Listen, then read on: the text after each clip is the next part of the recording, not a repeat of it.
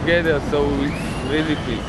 You know, maybe not peace in the Middle East, but peace inside of this country. You see a lot of different people come together for one reason that we want our balance, we want our socialism, we want to have everybody equal. You know, and different people do it, so it's kind of peace, I think.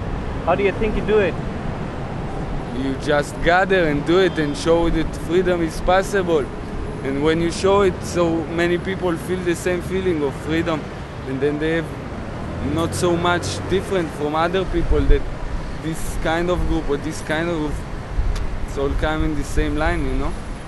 Yes, I think I And the this idea. is same kind of peace, you know. If we understand the Palestine and Israel, it's some of the same line.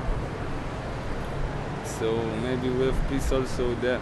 But it's really good business, so we will not let it out.